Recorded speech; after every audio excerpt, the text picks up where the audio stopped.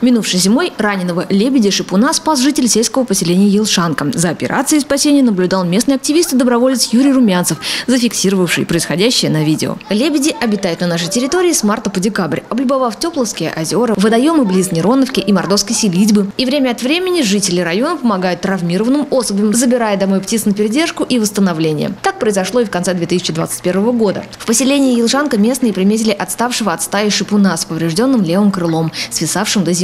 О, крыло. Ага, машет. Молодец. Молодец. Машет крыло.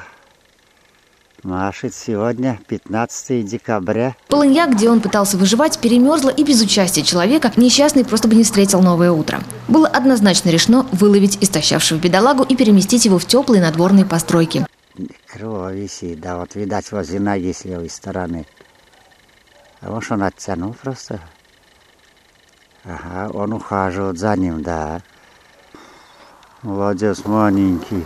Аккуратно обездвижив лебедя, очистив его крылья от льда, через шипение и сопротивление, невезунчика все же транспортировали на зимовку. Она прошла успешно. И в 2022 году, как рассказали сличане, крылатого пациента переместили на лечение в специализированное учреждение. Екатерина Реснянская, Антон Иванов для информационной службы телекомпании «Радуга-3».